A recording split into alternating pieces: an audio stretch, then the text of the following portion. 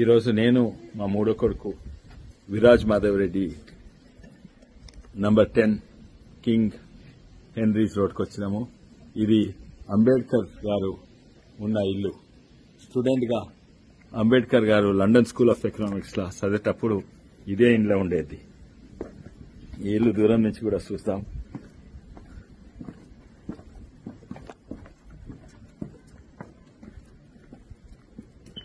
చుట్టుపక్కల ఇట్లుండేది ఈ ఇల్లు అంబేద్కర్ గారు ఉన్న ఇల్లు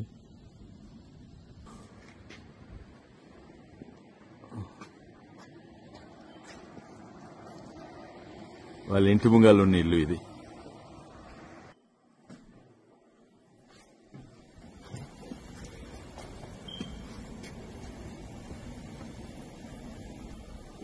ఇంటి లోపలికి వచ్చినాము.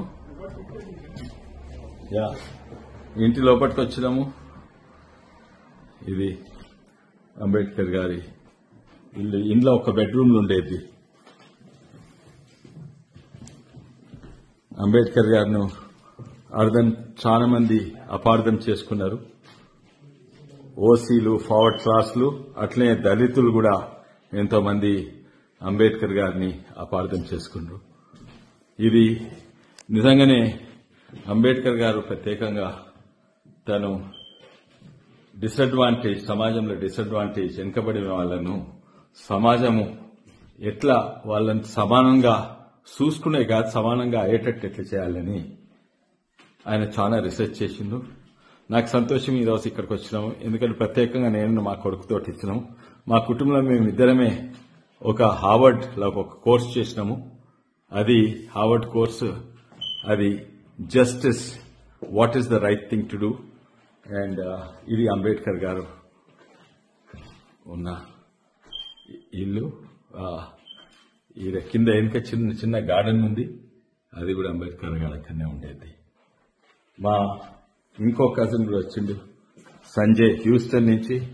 సంజయ్ ఎక్కడ హ్యూస్టన్ నుంచి వచ్చింది సంజయ్. అండ్ ఫస్ట్ టైం మేము ఇక్కడికి వస్తున్నాము. ఇలా బంగ్లా మీద ఒక రూమ్ ఉండేది. బంగ్లా మీద ఒక బెడ్రూమ్లు ఉండేది అంబేద్కర్ గారు. ఇది.